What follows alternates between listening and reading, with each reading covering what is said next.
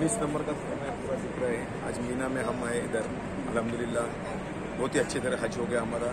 पहला दिन मीना में थे, दूसरे दिन मीना से अरफात गए।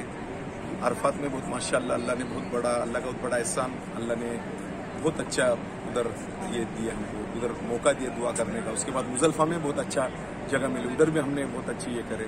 फिर मुजल्फा से हम जमरात के लिए गए कंकरिया मारने के लिए। तो जमरात में भी हमने बहुत अच्छी तरह हमें कंकरी मारे।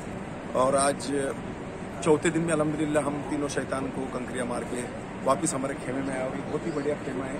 इधर से मेट्रो भी दिखती है और माशाल्लाह बहुत ही अच्छा है। आज इंडिया में ईद है सबको ईद मुबारक, माशाल्लाह।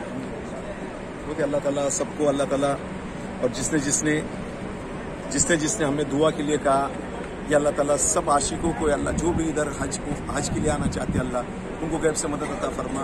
तेरे हबीब की, हज़रत मोहम्मद मुस्तफ़ा सल्लल्लाहु अलैहि वसल्लम की उनको हाजिर नसीब अता फरमा। कितने तड़पे अल्लाह उनको गैब से मदद अता फरमा। आमीन अल्लाह आमीन। सुबहान रब्बिक रब्बिल इज़्ज़त यसिफून व सलामुन अलल ये देखो, ये हेलीकॉप्टर है। ये खास शनाख्त के लिए हमेशा सऊदी गवर्नमेंट भेजते हैं कि इधर क्या है, क्या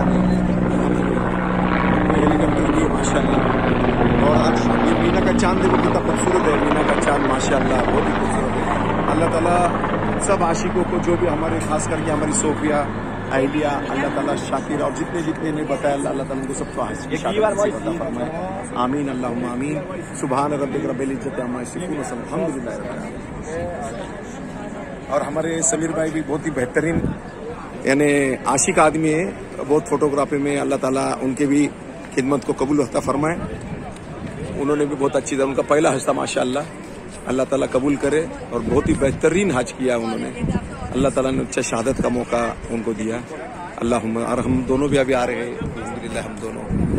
बस अल्लाह ताला कबूल करे, आमीन। आमीन।